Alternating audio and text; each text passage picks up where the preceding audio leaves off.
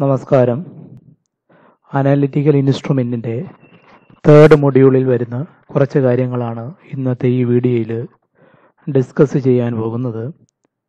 ഈ മൊഡ്യൂളിൽ മെയിനായിട്ടും പി എച്ചും ക്രൊമാറ്റോഗ്രാഫിയെ കുറിച്ചിട്ടുള്ള ഒരു മൊഡ്യൂളാണ് അപ്പോൾ ആദ്യം നമുക്ക് പി എച്ചിനെ കുറിച്ച് പഠിക്കാം. P H P H scale അതുപോലെ സ്റ്റാൻഡേർഡ് ഇലക്ട്രോഡ്സ് എങ്ങനെയാണ് പി എച്ച് യൂസ് ചെയ്തിട്ട് പി എച്ച് മെഷർ ചെയ്യുന്നത് ഇലക്ട്രോഡ് പൊട്ടൻഷ്യൽ യൂസ് ചെയ്തിട്ട് പി എച്ച് മെഷർ ചെയ്യുന്നത് എങ്ങനെയാണ്? തുടങ്ങിയ കാര്യങ്ങളാണ് ഈ മൊഡ്യൂളിൽ നമ്മൾ പഠിക്കാൻ പോകുന്നത്.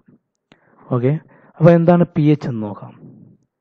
Okay P H P H is the negative logarithm of base ten with hydrogen ion concentration okay negative logarithm of base ten with hydrogen ion concentration അതിനെ നമ്മൾ മാത്തമാറ്റിക്കലി നമുക്ക് റെപ്രസെന്റ് ചെയ്യാൻ കഴിയും. P H is equal to minus logarithm of concentration of H plus ബ്രാക്കറ്റിൽ കാണിച്ചിരിക്കുന്ന H plus എന്താണ്? Concentration of hydrogen ion to the base ten അപ്പോൾ നമുക്ക് concentration of H plus ions തന്നിരിക്കുകയാണെന്നുണ്ടെങ്കിൽ നമുക്ക് ഡയറക്റ്റ് ആയിട്ട് ഇക്വേഷനിൽ കൊടുക്കുമ്പോൾ തന്നെ നമുക്ക് എന്ത് കണ്ടുപിടിക്കാൻ കഴിയും?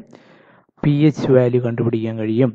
P H is the logarithmic measurement of number of moles of hydrogen ion per litre of a solution it symbol is P H P എന്ന് പറയുന്നത് negative base ten logarithm negative base ten logarithm H എന്ന് പറയുന്നത് element of hydrogen അപ്പോൾ എന്താണ് P H എന്ന് പറഞ്ഞു കഴിഞ്ഞാൽ? Simply it's negative logarithm of base ten with hydrogen ion concentration ഇനി നമുക്ക് ഈ പി എച്ച് മെഷർ ചെയ്യുന്നത് എങ്ങനെയാണെന്ന് നോക്കാം. അതിനുവേണ്ടി നമ്മൾ സ്റ്റാൻഡേർഡായിട്ട് യൂസ് ചെയ്യുന്ന സോറൻസ് എന്ന് പറയുന്ന സയന്റിസ്റ്റ് ഡെവലപ്പ് ചെയ്ത ഒരു സ്കെയിലുണ്ട് അതാണ് Sorensen P H scale normally നമ്മൾ പി എച്ച് സ്കെയിൽ എന്ന് പറയും. ഇപ്പോൾ കണ്ടുപിടിച്ച സയന്റിസ്റ്റാണ് Sorensen's based on the P H values and different concentration of hydronium ion H three O plus എന്ന് പറഞ്ഞു കഴിഞ്ഞാൽ ഹൈഡ്രോണിയം അയോൺ നമ്മൾ എച്ച് പ്ലസ് അയോൺസും അതുപോലെ തന്നെ ഹൈഡ്രോണിയം അയോൺസ് ഇത് രണ്ടും നമ്മൾ എന്തെടുക്കാം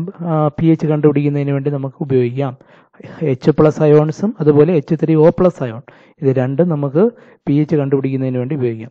അപ്പോൾ hydronium ions a scale is devised and named after Sorensen who developed it അപ്പോൾ സോറൻസ് എന്ന് പറയുന്ന സയന്റിസ്റ്റാണ് കണ്ടുപിടിച്ചത് P H scale P H scale എന്ന് പറയുന്നത് എന്താണ്?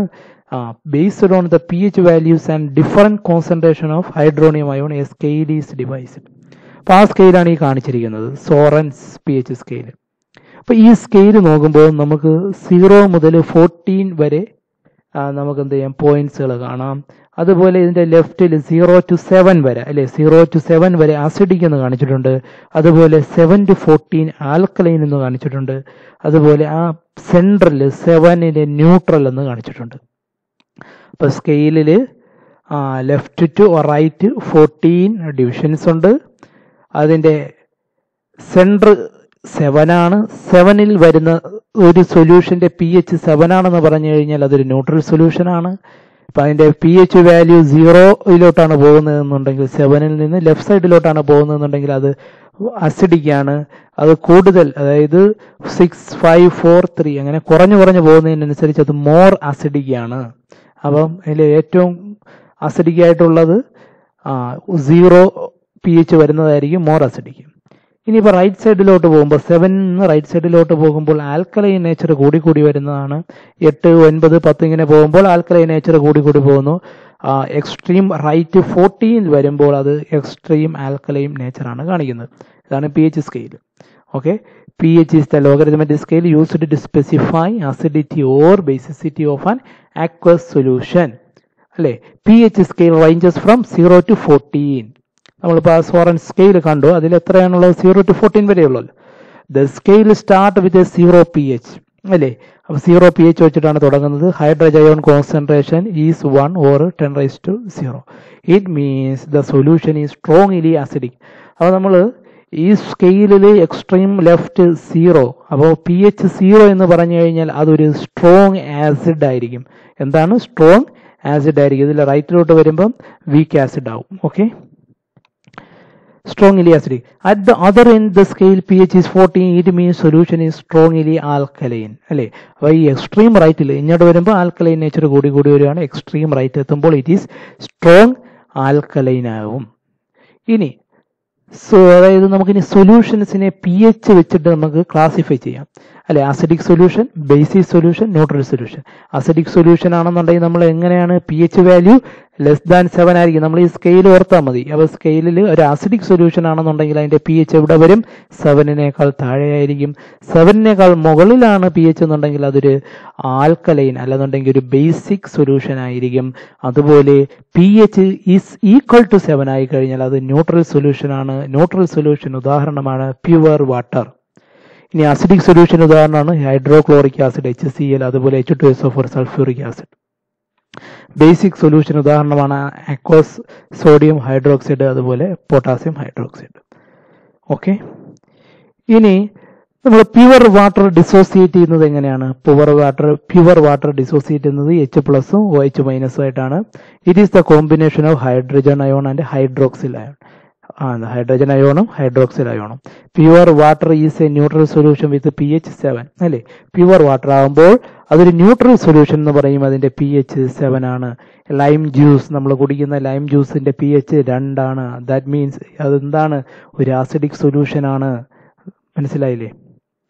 ഓക്കെ ഇനി നമുക്ക് അടുത്തത് എന്താണ് ബഫർ സൊല്യൂഷൻ നോക്കാം. എന്താണ് ബഫർ സൊല്യൂഷൻ ഇതെല്ലാം നമ്മൾ പി എച്ചുമായിട്ട് ബന്ധപ്പെട്ട് പഠിക്കേണ്ടുന്ന കുറച്ച് ടേംസുകളാണ് അപ്പം ബഫർ സൊല്യൂഷൻ എന്ന് പറഞ്ഞു കഴിഞ്ഞാൽ a solution which resist changes in P H when small amounts of acid or alkali is added to it അപ്പോൾ നമ്മൾ പറഞ്ഞ സൊല്യൂഷൻ മൂന്ന് തരമാണ്. അസിഡിക്ക് ന്യൂട്രൽ ബേസിക് അപ്പോൾ നമ്മൾ ഇനി ബഫർ സൊല്യൂഷൻ എന്ന് പറഞ്ഞു കഴിഞ്ഞാൽ എന്താണ്?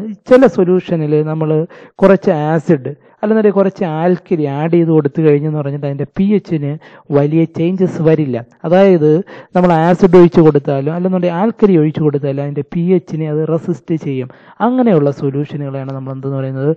ബഫർ സൊല്യൂഷൻ എന്ന് പറയുന്നത്. Solution which resist in P H when small amounts of acid or alkali is add to it okay അതിന് ഒരു ബെസ്റ്റ് എക്സാമ്പിളാണ് നമ്മുടെ ബ്ലഡ് ബ്ലഡ് എന്ന് പറയുന്നത് ഒരു ബഫർ സൊല്യൂഷൻ ആണ്. കാരണം നമ്മളെ ബോഡിയിൽ നമ്മൾ ഫുഡൊക്കെ കഴിക്കുന്നതിൽ ആസിഡിറ്റി കൂടുകയോ അല്ലെന്നുണ്ടെങ്കിൽ ബേസിസിറ്റി കൂടുകയോ ചെയ്തെന്ന് പറഞ്ഞിട്ട് നമ്മുടെ ബ്ലഡിന്റെ പി എച്ച് എന്ത് ചെയ്യില്ല? ചേഞ്ച് ആകില്ല. നമ്മുടെ ബ്ലഡ് അത് സ്വയം തന്നെ എന്ത് ചെയ്യും? ആ പി എച്ചിനെ എഗെയിൻ കൺട്രോൾ ചെയ്ത് അത് നമ്മളെ ബ്ലഡിന്റെതായിട്ടുള്ളൊരു പി എച്ച് ഉണ്ട്. അത് പുറകെ ഞാൻ പറയും. അപ്പോൾ ആ പി എച്ചിലേക്ക് ഇത് ഓട്ടോമാറ്റിക്കായിട്ട് കൊണ്ടുവരുന്നുണ്ട്. അപ്പം ബ്ലഡ് എന്ന് പറയുന്നത് ഒരു ബഫർ സൊല്യൂഷനാണ് ഇനി നമുക്ക് types of buffer solution according to their chemical nature നമുക്ക് ടൈപ്പ് ഓഫ് ആ ബഫർ സൊല്യൂഷൻ മെയിനായിട്ട് രണ്ട് ടൈപ്പാണുള്ളത് ഒന്ന് അസിഡിക് ബഫേഴ്സും മറ്റൊന്ന് ബേസിക് ബഫറും അപ്പൊ അസിഡിക് ബഫർ എന്ന് പറഞ്ഞു കഴിഞ്ഞാൽ which are made up of a weak acid അല്ലെ അസിഡിക് ബഫർ ആകുമ്പം ഒരു വീക്ക് ആസിഡും അതിന്റെ തന്നെ സോൾട്ട് ഓഫ് എ സ്ട്രോങ് ബേസും ആയിരിക്കും. എങ്ങനെയാണ്? Weak acid and its salt of a strong base അതാണ് എന്ത്? അസിഡിക് ബഫർ അതിന് ഉദാഹരണം mixture of ethanoic acid and sodium ethanoate in solution ഇനി basic buffer which are made up of a weak base basic buffer ആകുമ്പോൾ weak base and it salt of a strong acid solution has a P H greater than seven അതാണ് basic buffer mixture of ammonia solution and ammonium chloride solution അതാണ് അതിന് ഒരു ഉദാഹരണം.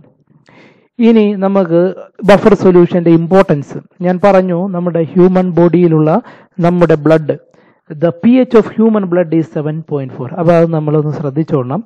നമ്മളെ human ബോഡിയിലുള്ള നമ്മുടെ ബ്ലഡിന്റെ പി എച്ച് എന്ന് പറയുന്നത് സെവൻ പോയിന്റ് ഫോർ ആണ്.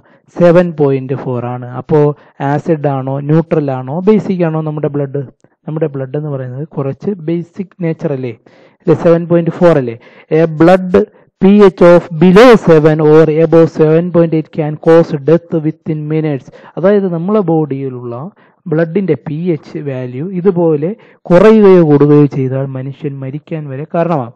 So buffering of blood P H is very important to stabilise is around seven point four important buffers that are dominate in human body അപ്പോൾ നമ്മൾ ഹ്യൂമൻ ബോഡിയിലുള്ള ഈ buffer act buffering ഇതിനായിട്ട് സഹായിക്കുന്നത് bicarbonate buffers അതുപോലെ phosphate buffers അതുപോലെ protein buffers ഇതൊക്കെയാണ് നമ്മുടെ ബ്ലഡിന്റെ പി എച്ചിനെ സെവൻ പോയിന്റ് ഫോറിലേക്ക് നമുക്ക് എന്ത് ചെയ്യുന്നത് എപ്പോഴും മെയിന്റെയിൻ ചെയ്ത് നിലനിർത്താൻ സഹായിക്കുന്നത് ഇനി നേച്ചറിലാണ് നോക്കുന്നതെങ്കിൽ നമ്മുടെ പ്രകൃതിയിലേക്ക് നോക്കിയാൽ water bodies like lake stream rivers soils plant grow best within a narrow P H range അല്ലേ നമ്മൾ ഈ ചെടികളൊക്കെ വളരുന്ന മണ്ണ് അതിന്റെ പി എച്ച് എന്ന് പറയുന്നത് ഒരു പ്രത്യേക പി എച്ച് ആയിരിക്കും. അപ്പോൾ നമ്മൾ ഇതിന്റെ ആസിഡിറ്റി കൂടുകയോ അല്ലെന്നുണ്ടെങ്കിൽ അതിന് അതിനെന്തെങ്കിലും കെമിക്കലി അതിന്റെ ആ നേച്ചറിൽ വ്യത്യാസം വരുമ്പോഴാണ് നമ്മൾ അതിലെന്ത് ചെയ്യുന്നത് കൊണ്ടുപോയി കക്കയൊക്കെ ഇട്ട് കൊടുക്കാറുണ്ട് അല്ലേ? നമ്മൾ കണ്ടിട്ടില്ലേ? പണ്ടത്തെ കർഷകരൊക്കെ കക്കയൊക്കെ കൊണ്ടിട്ട് കൊടുക്കുക. അപ്പം എന്തിനു വേണ്ടിയാണ്. അപ്പം അതിന്റെ അതിന്റെ നഷ്ടപ്പെട്ടു പോയിട്ടുള്ള അതിന്റെ പി എച്ച് അത് എന്ത് ചെയ്യുന്നതിന് റെഡിയാകുന്നതിന് വേണ്ടിയാണ് അല്ലെങ്കിൽ അഡ്ജസ്റ്റ് ചെയ്യുന്നതിന് വേണ്ടിയാണ് നമ്മൾ അങ്ങനെ കൊണ്ട് ആഡ് ചെയ്ത് കൊടുക്കുന്നത്. അതുപോലെ മത്സ്യങ്ങൾ വളരുന്നതിന് വേണ്ടി ഒരു പ്രത്യേക പി എച്ച് വേണം. ഇനി ഇൻഡസ്ട്രി ഫാർമസ്യൂട്ടിക്കൽ ഇൻഡസ്ട്രീസ് നമുക്കറിയാം. നമ്മൾ ഫാർമസ്യൂട്ടി മരുന്നുണ്ടാക്കുന്ന ഇൻഡസ്ട്രികളും അതുപോലെ ഫെർമെന്റേഷന്റെ ഫുഡ് ഇൻഡസ്ട്രി നമ്മൾ അതുപോലെ നമ്മൾ കുടിക്കുന്ന ഫ്രൂട്ടീസ് അങ്ങനെയുള്ള പാനീയങ്ങളിലൊക്കെ എന്തുണ്ട് പി എച്ച് നമ്മൾ കൺട്രോൾ ചെയ്യണം. ഇൻ ഡൈയിങ് ഇൻഡസ്ട്രി അതുപോലെ തന്നെ ഇലക്ട്രോപ്ലേറ്റിംഗ് ഇൻഡസ്ട്രി ഇതിലെല്ലാം എന്താണ് വളരെ ഇമ്പോർട്ടന്റ് ആയിട്ടുള്ളൊരു മേഖലയാണ് ഏത് പി എച്ച് അല്ല ബഫർ ബഫറിങ് എന്ന് പറയുന്നത്. ഇനി നമുക്ക് പി എച്ച് എങ്ങനെ മെഷർ ചെയ്യുക എന്നുള്ളതാണ് അതിനു വേണ്ടി ഉപയോഗിക്കുന്ന ഇലക്ട്രോഡ് തുടങ്ങിയ കാര്യങ്ങളാണ് നമുക്ക് അടുത്ത വീഡിയോയിൽ കാണാം. Okay thank